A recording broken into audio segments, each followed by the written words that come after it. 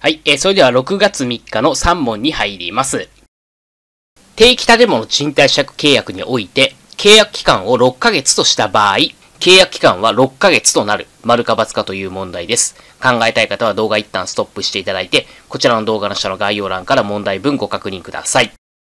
で、答えは、これ丸ですね。定期建物賃貸借契約において、契約期間っていうのは制限がないんですね。まあ、制限がないということなので、まあ、6ヶ月って定めたのであれば6ヶ月になりますし、1年と定めたのであれば1年となるし、2年と定めたら2年となるということですね。まあ、これは基本事項です。で、そもそも定期建物賃貸借って何なのかって話なんですね。これが重要です。定期建物賃貸借っていうのは、更新がなく契約期間の満了とともに契約が終了する。こういった建物の賃貸借なんですね。これつまりですね、オーナー、賃貸人にとっては、建物をずっと住み続けられることを防ぐことができるんですね。更新がなくて契約期間満了とともに契約が終了するってことは、もし契約期間を6ヶ月って定めたのであれば、6ヶ月後にはもう契約終了になるんですよ。で、出て行ってくださいっていうことができるんですよね。で、一方で、普通建物賃貸借契約っていうのは、オーナーから解約する場合って正当自由が必要なんですね。つまり、多くの場合が、更新更新更新ってなってくんですよ。解約しづらいんですね。このように違いをちゃんと明確にして、対して頭に入れておきましょう。それでは問い2です。高検知事免許を受けている A 社が D 社に吸収合併され消滅したとき、D 社を代表する役員 E は合併の日から30日以内にその旨を高検知事に届け出なければならない、丸か×かという問題です。で、答えは、これ×ですね。本文は D 社を代表する役員 E は届け出をしなければならないとなっているので誤りなんですね。正しくは D 社ではなく A 社です。A 社を代表する役員は届け出をしなければなりません。高検知事免許を受けている A 社が D 社に吸収合併され消滅したということは A 社が消滅会社、D 社が存続会社なんですね。そして、宅建業者である法人が合併により消滅したときは、消滅した法人の代表役員が合併の日から30日以内に届け出をしなければならないんですね。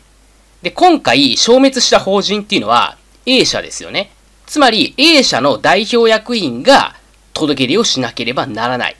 ということになります。なので問題文を見ると、D 社を代表する役員 E は届け出をしなければならないとなっているので、まあ、この部分が誤りですね。これ D 社じゃなくて A 社を代表する役員に変えたら正しい記述になります。では問い3です。土地売買等の契約による権利取得者が事後届出を行う場合において、当該土地に関する権利点の対価が金銭以外のものであるときは、当該権利取得者は当該対価を時価を基準として金銭に見積もった額に換算して届出書に記載しなければならない丸か×かという問題です。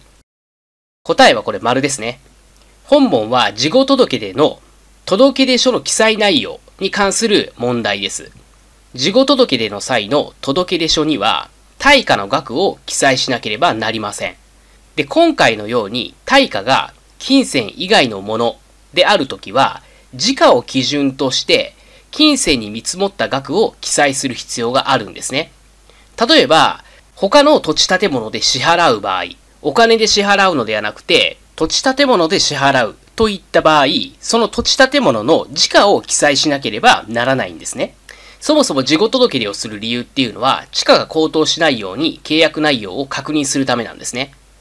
なので、例えば2億円の土地を10億円で取引されたりすると、地価が高騰する可能性があります。だから届け出をしてくださいねっていうことなんですよ。そしてこの10億円っていうものを現金じゃなくて、他の土地や建物で支払う場合、まあ、つまりこういった土地や建物が10億円の価値がある。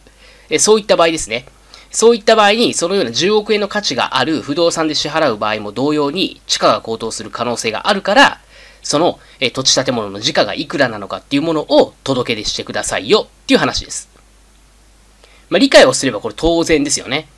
毎日の3問だけでは合格するためには全然少ないです。これは問題量が少ないんです。理解量も少ないです。なので、その他の問題であったとしても理解できない部分は、ネットとか専門書で調べて理解学習を実践していきましょう。これが合格の秘訣です。そして今行っている短期集中実力アップ講座っていうのは、そういった理解しなければならない内容を短期講座の教材の中にも入れております。書いてあるんですね。だから、まあ、今からであったとしても理解学習を実践することは十分可能です。そして今年の合格もまだ目指せます。なので今年絶対合格したいという方は短期講座ぜひご検討ください。そして短期講座についてはこの動画の下の概要欄に URL 貼っておきますので、そちらからご確認ください。え今回なんですけれども、短期集中実力アップ講座、いわゆる短期講座ですね。こちらの特徴についてお話しさせていただきます。で、そもそも短期講座ってどういったものなんですかっていうご質問をよく受けます。なので、まあ、今回ね、あの動画にさせていただきました。短期集中実力アップ講座、短期講座の特徴なんですけれども、問題集だけで基礎から理解学習まで行える。これが短期講座の特徴なんですね。いわゆる短期間で実力を上げるための講座が短期講座なんですけども、その短期間でじゃあ合格力をつけるための元となっているのは何なのかって言ったら、この問題集なんですよ、実を言うと。これがですね、他の予備校だったりとか通信講座とは違う内容なんですよ。どういうことかというと、問題集の中に基礎的な内容から理解すべき内容まで含まれているっていう点なんですね。多くの教材っていうのが、その問題に対する解説だけしか載ってないんです。しかも理解すべきところは載ってなくて、ポイントしか載ってないから、自分自身で理解すべきところは調べなきゃいけないって話なんですね。で、それやってるとですね、時間が足らないわけですよ。調べるにも時間かかる。また多くの場合が、はじめに動画を見て講義を受けて、もしくはテキストを見て、で、その後問題解くんですよね。で、そういったやり方をしてたら、半年間の期間があったとしても、本試験まで間に合わないんですね。去年とか一昨年とか、この時期からね、あの、予備校通ったりとか、え通信講座を受けたりとかした方であればわかると思います。全然時間が足らないってことに気づくんですよ。だから弊社の短期講座っていうのは、そういったやり方はしてないんですね。受講していただいたからには短期間で実力を上げていただいて合格していただく。これが短期講座の目的なんで、短期間で実力を上げることができなかったら意味がないんですよ。じゃあ、その短期間で実力を上げるためには、できるだけ無駄を省いていかないといけないわけなんですね。そのために、弊社は問題を使いながら、基礎から理解学習までできるようにしたんですよ。で、これ、基礎から応用じゃないのかっていうと、もちろん応用も解けるようになります。で、これはですね、基礎をちゃんと理解できていて、理解学習を実践できるようになれば、応用問題も必然に解けるようになるんですね。だから、重要なのは基本的な部分とちゃんと理解学習をやるっていうこの二つなんですよ。で、それを問題集で行えるって話なんですね。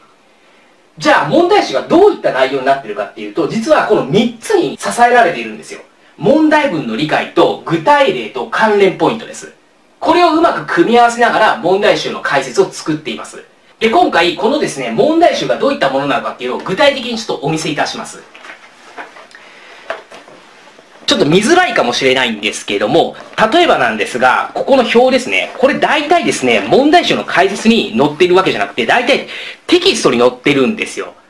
これどういった内容かっていうと、自己契約とか双方代理って言って、まあ、代理の部分ですね。代理の部分で勉強する内容なんですけども、それが実は表になってここに記載されてるんですね。これは問題集の解説です。問題集の解説にもかかわらず、テキストのような内容が載ってるんですよ。で、実際、自己契約とか双方代理っていうのはこの上に載ってるんですね。で、これは問題を使いながら具体例を頭に入れていただけるようになってるんですよ。もちろんテキストで読むっていう方法もあるんですけども、実際、問題文を理解する力をつけていかないといつまで経っても点数って上がってこないんですね。多くの方がテキストを勉強して法律の知識を頭に入れました。頭に入れたはいいにもかかわらず、実際の本試験になると解けない。で、これは問題文の理解ができていないからなんですね。だから、早い段階から問題文に触れるってことがすごく重要なんですよ。だから問題を使いながら、ここで基礎的な知識も一緒に頭に入れていきましょう。これが短期講座なんですね。で、今回で言うと、これ実は問題文自体が具体例になっているので、具体例をあえて出していません。具体例がなかったとしても問題文が具体例だから、それを使っていけばそれで勉強できるって話なんですね。で、ここに表がある通り、この問題を解くだけだったら、心の中の一部だけ分かっていたら解けちゃうんですよ。でも、それだけ勉強するのって非効率ですよね。関連ポイントがあるのであれば、関連ポイントも一緒に覚えた方がいい。ということで関連ポイントも入れてます。で、その中にもこういう具体例ですね。分かりづらいものについては具体例も入れてます。で、問題文が難しくなってくると、やはり問題文の状況理解、これをちゃんとやっていかないといけないので、ここにも書いてある通り、難しい内容については、まずはじめに、えしっかり問題文を理解すること、問題文の状況を理解することが重要ですって書いてある通りですね、問題文の理解について図を使いながら書いてあるんですね。ここもそうですね。こことかは問題文だと分かりづらいから、まあ、3人登場人物がいるんですけども、A、B、C っていう風に名前を付けてですね、問題文を理解するといった感じにしております。で、まあ、次のページとかもそうですね。ここも問題文の理解、ここも問題文の理解、ここも問題文の理解。という感じで、問題文の理解の仕方を解説しています。またここもですね、表になってたりして、えー、原則と例外をあた一緒にね、頭に入れましょう。関連ポイントですね。で、さらに続いては、これ具体例ですね。問題文に具体例がない場合っていうのは具体例入れた方がいいので、具体例入れてます。ここも具体例、具体例ですね。で、ここも具体例、え具体例、具体例、具体例です。まあ、こういった感じで具体例たくさん入れてます。これちらっと見ていただいてわかると思うんですけども、これ A41 枚なんですね。で、ここも A41 枚。だからこれで A3 なんですけれども、解説がこれ見ていただいてめちゃめちゃ長いんですよ。まあ、短いものもありますね。これ短いですけども、ここ長い。これも比較的、ここも比較的長いですよね。で、これっていうのはちゃんと理解してほしいから、問題文の理解から解説の理解までこう書いてあるんで、長くなっちゃってるんです。でも、これを順序立てて頭に入れていくことによって、すごく実力ついてくるんですね。単にポイントだけ頭に入れたとしても、一向に点数って伸びてこないんですよ。実力つかないんですね。ちゃんと使える知識にしていかないといけないから、このように詳しい解説にしております。なので、この問題集の解説を使うだけでも相当実力って上がるんですよ。なので、受講していただいてやることっていうのはすごく簡単で、問題文とこの解説っていうものをこう読み進めていくっていう流れなんですね。初めは別に解かなくてもいいんですよ。